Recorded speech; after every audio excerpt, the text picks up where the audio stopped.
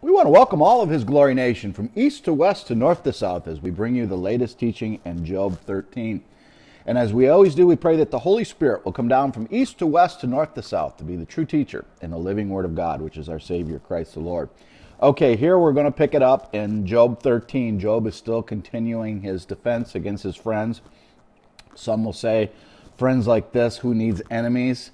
Uh, again, we have the uh, the ability to be outside of uh, uh, uh, outside of this story, which is a real story, and see that God is testing Job and allowing Satan to to sift him. And how does Job respond on all these uh, trials and tribulations? As Jesus said, it's not if we will have trials and tribulations for His name's sake. If we accept the Lord, He says, pick up your cross. And if we pick up the cross, we're supposed to preach the gospel from east to west to north to south. So we will have troubles for His namesake, for the Word of God. And he says, Don't worry, I, the world hated me before it hated you, and I have overcome the world. So we're going to be like modern day Jobs in, in many cases. So we have to trust in the Lord. The thing that we have going for us is the Word of God. We know how the story of Job started, and we know why Job goes through this. And more importantly, we know how God steps up and redeems Job, and He's a loving, redeeming God. So we'll see what He has to say to His uh, persecutors. Again, His friends are so called believers in Jehovah God. So we have to be very careful when our walk in Christianity, when we accept the Lord Jesus, our Lord and Savior, that we are walking in an upright and loving and shining a light, not pointing blame on somebody, not saying you sin differently than me. And love your neighbor as yourself, as Jesus says. All the law and the prophets are wrapped up in love. We love, we love, we love, we love. We love other religions. We love the, we, we love the Muslims, we love the Hindus, we love the Buddhists. We are, we are called to a religion of a love relationship. Love your neighbor doesn't mean we agree with them, and that doesn't mean we're going to follow our hearts to them. No, the contrary. We're going to show them our faith and our, through our testimony of the living Christ, but we are to call them in love. As I mentioned some other times in our study, we have many, many Muslims coming to His Glory uh, ministry. We are reaching uh, upwards of about 1.6, 1.7 million people that we can track. It's much more than that the last three or four days, it has been uh, gone viral. We've hit over seven million, touched over seven million people uh, on uh, Facebook alone. Um, so it's it's it's it's really really growing, and it's all through uh, through uh, every single country in the world, many many Muslim nations. But what, what, what they're finding, there are a lot of young people coming to His Glory Ministry, and uh, they're from a Muslim tradition, and they're so surprised that the love that they are given here at His Glory. They are taught that we are at war against them. Uh, they are taught in some cases that um, th- th- that uh, we, we're going to be we, we're going to be hard against them and stuck in our ways. No, we love. We're called to love. That's a relationship, not a religion. If your religion doesn't call for love, love, love through the Savior in the one way that you know without a shadow of a doubt, because the Scripture tells you, then that's a religion, not a relationship and that is working for the world instead of working through the most high god through his son jesus christ. It's all about his love. So let's get into job. Job 13.1 behold my eyes have seen all this. My ear has heard and understood. What you know i also know. I'm not inferior to you. He says you don't have to keep telling me about the word of god. I know the word of god. I am not going through this because of of anything i've done in the flesh. I don't know why i'm going through this but I know that I've taken everything to the Lord and I'm trying to walk in a light like Him. Am I sin free? No. I walk in sin, but I'm trying to be upright and righteous and do everything the Lord wants me to do. But yet you're, bring, you're bringing all this blame against me.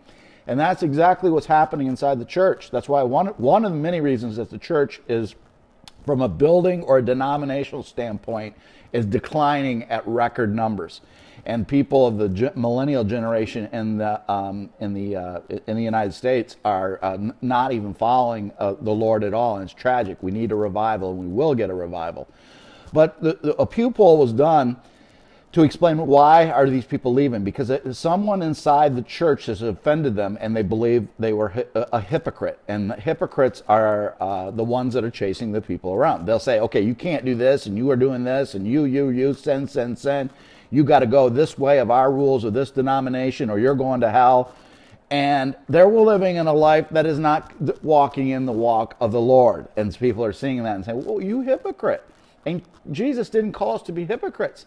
Jesus called us to carry our cross. Jesus called us to preach the gospel. Jesus called us to be obedient to his precepts and commandments. Why is the church falling apart at the seams? Because they're not in the Word of God. As we said before, only 10% of the United States reads their Bible, and only 10% of the United States believes in the literal, and infallible Word of God. There's no, no coincidence when it comes to that number. If you're 90% of those who are not reading your Bible and do not take it literally, then it's an allegory. Then it's just a fancy tale, and it's not the living Word of God, and you're not obeying His precepts and commandments. You can't love Him and not be obedient to Him. It doesn't go hand in hand. It, love is giving yourself, committing oneself. That's what it means in the Greek. Commit myself to the Lord Jesus Christ. Make him kairos of my life, and, and he will be my guiding force. He'll be my kairos, and he'll be my theos. Verse 3 But I would like to speak to the Almighty and desire to reason with God. So here he's trying to plead his case to the judge, the ultimate judge, which is our Lord, uh, is God the Father, Jesus Christ, and the Holy Spirit. We know Jesus will be uh, at, at the white throne judgment in the book of Revelation and will be judging all things. So he wants to plead his case because he's being prosecuted by who? The prosecutor. The, the, the prosecutor is Satan. Satan is trying to uh, judge him or get him to come against the Lord and, and, and stop loving the Lord with all his heart, his soul, and his mind. But you forgers of lies, you are worthless physicians. You guys are lying. You're, you're being hypocrites. You don't know what you're talking about. You're blaming all this on me that I somehow did this in my own sin nature, and I've caused all this because of all your own theology. Uh, no, no, no, no, no. I know the Word of God just as much as you do and you, think you're wise and you think you're wisdom, that's man made. And you think you're a doctor, you think you're a physician? No, no. There is one chief physician, that is the Lord Most High. Oh, that you would be silent and, you, and it would be your wisdom. Oh, that you'd be silent and be your wisdom. The old saying is, you know, you, you don't speak unless you have something to speak, because if you open your mouth and you release something without thinking, then people will know how you really think, and uh, that's it's not good. Jesus said it's what comes out of the mouth that's, that's harmful. It's not what goes into the mouth because it comes from the condition of one's heart. We are not to judge other people because they sin differently than you do. In this case, they have no idea the reason why. Now, if this was an outwardly sinning within the body of the church, like Paul describes in Corinth, that'd be a different story. But it's not. They don't know why. They're just assuming and they're saying, okay, because you're going through this, you are being uh, you, you, you're you're obviously sinning and uh, you, you need a doctor and you need to get right with the lord and your wife says curse god and die now hear my reasoning and heed the pleadings of my lips will you speak wickedly for god are you speaking wickedly for elohim here and talk deceitfully, deceitfully for him because God does not speak that way. God is just. His ways are always higher, and his precepts and commandments are always true. He never goes against his name, and he never goes against his word. That's why we have the great I am that I am. You can trust in him through his son, Jesus Christ, because what he says, he means, he means what he says. Over and over in the scripture, what he says, it comes true. And that's why we can take it to the bank that the second coming of Jesus Christ will be, because there has been over 30, 30 first time um, fulfillments of Bible prophecy that we know are true by the Dead Sea Scrolls that Jesus fulfilled the first time. So we know that the second time will come because everything the Lord has said will happen and has happened. And it happens in some cases to the exact day, as in Ezekiel 4. May 14th, 1948, Ezekiel prophesies the exact day that Israel would become a nation. Amazing, just absolutely amazing. The more you peel back, the more you're in awe of the word and how specific the Lord is. Yes, he puts it in he puts it in uh, uh, symbols and idioms and, and, and all these kind of things. Like Jesus talked in parables. They said, well, why do you talk in parables? Because the, the, the Pharisees and Sadducees weren't understanding the regular, the, the regular way that the Lord was speaking because he's there. So he spoke in parables so that they wouldn't understand it. They have to understand the parable. And the Lord does that in the 66 books, and not always in a parable, but it might be a symbol here, a symbol there. But the thing about the Holy Spirit is He's consistent. The consistency throughout all 66 books is important because God wants you to search with your heart to know His whole Word. And when you know from Genesis to Revelation 22 and you've read it all over and over again into your heart, you know what the symbols mean. And they're consistent throughout Scripture. So it pops at you. It's a parable that only the disciples could understand. It's a parable and it's, it's, it's, it's a mystery that only the lovers of Jesus Christ through the heart can understand. And that's what it is. It can be only filtered through a love relationship. Will you show partiality for him? Will you contend for Elohim? Will it be well when he re- re- searches you out? Or can you mock him as one mocks a man? Will it be well when he comes back on you because of your judgment? Are you mocking him as one mocks a man? You don't want to mock the Most High God. He will surely rebuke you, and you will secretly show partiality. Will not his excellence make you afraid, and the dread of him fall upon you? Careful, careful what you're preaching because it has to come from the Most High God. Hold your peace with me and let me speak, then let come on me that, that may.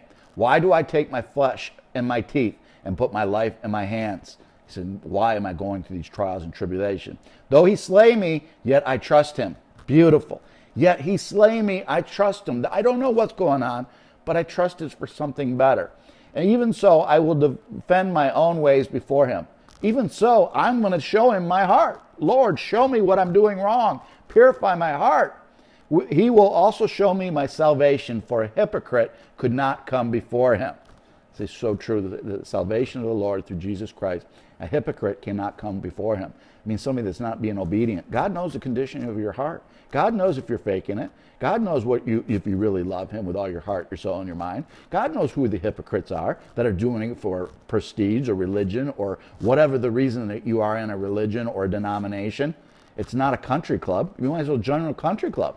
But a, a, a loving relationship with the Lord is to get to know Him. And if 90% of the so-called Christians can't pick up their Bible to get to know who He is, there is something seriously wrong. He is the creator. You're supposed to have a love relationship. You call yourself a believer in Jesus Christ, but you, you can't pick up the Word of God.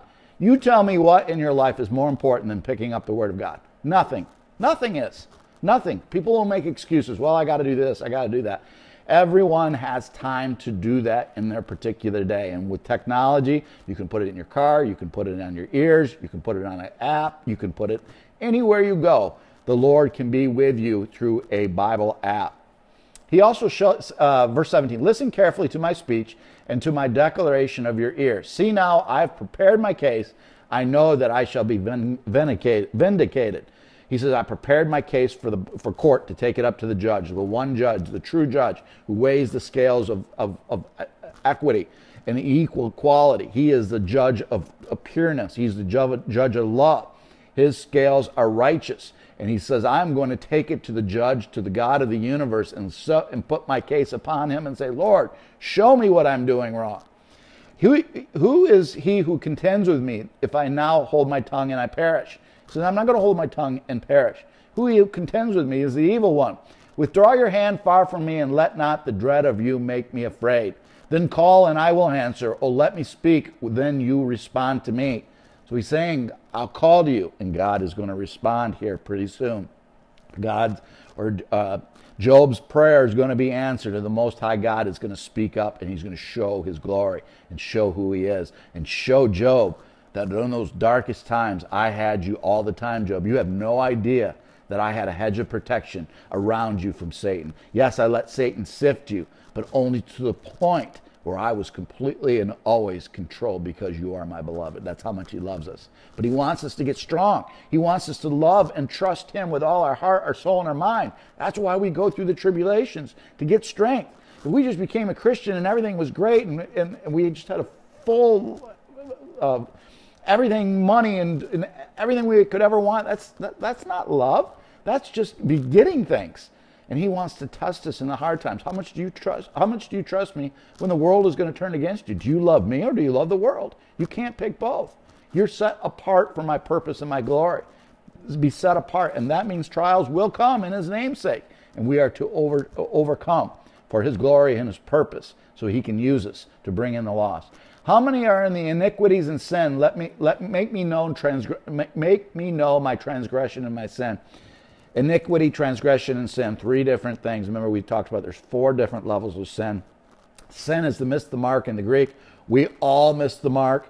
Jesus gave us salvation of our sins so they're washed white as snow as once we accept him as Lord and commit to him and being obedient to his word and follow him in his word as he says.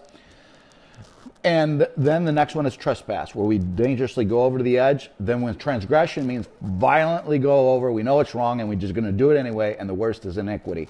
We violently go over and we know God knows it's wrong and we do it anyway. That's the worst kind. So he's saying, Cleanse me of all this. David who had iniquity in his heart with Bathsheba and Uriah. And the, he took it to the Lord. I have had iniquity to you, Lord.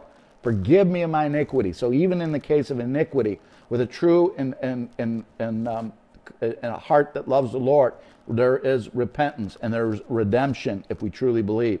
And, and David believed, and David loved the Lord, and he truly repented in all his heart. Why do you hide your face and regard me as your enemy? A lot of times we go through our trials and tribulations and we think, well, how do you hide your face from me? Why, why are you my enemy? Why is Satan winning? Why is this battle so hard? Where are you when I need you? Those are the times that are the darkest that he's literally holding us up and guiding us because it's always darkest before the light. And then he will show his purpose and his glory. There's the famous uh, uh, uh, saying, or uh, you see this everywhere uh, in people's houses or in, in Scripture. You know, the, there were two sets of footprints on the sand. During the rough parts of my life, Lord, I see that there was only one set of footprints. What happened? Why, why, in my worst times of my life, did I see only one set of footprints on the sand by the water? He said, my, son, my child, that's the time that I carried you. We don't see it at the time, but He's carrying us to get our heart closer to Him. Because the closer we get to Him, the closer we can rely on Him and trust Him and love Him and, and know and, and be obedient to Him and trust Him in all things. That once you've gone through the valley, and once you've gone through the darkest of times, and He has survived, He has prevailed through you prevailed through Him. You give Him all the glory and love Him and trust Him in all things. You will frighten a leaf driven to and fro, and you will uh, pursue dry stubble. For you write bitter things against me and make me inherit the iniquities of my youth. You, you put my feet in stocks and watch closely all my paths. You set a limit for the soles of my feet. You're in control of all things. Man decays like a rotten thing, like a garment that is moth eaten. So he's saying how much our life is just a short period. Man decays like a rotten thing. Our, our, our vessel of our human body is going to die. We are going to die and it's going to rot and it's going to decay and it's going to be moth eaten like a old garment. It will wear out but our soul and spirit live on forever. The question is, where is your soul and spirit going to live on forever? Are you going to live on forever in paradise with the Lord Most High? Are you going to accept Him and trust Him in all things and be obedient to His word, even when it's the darkest?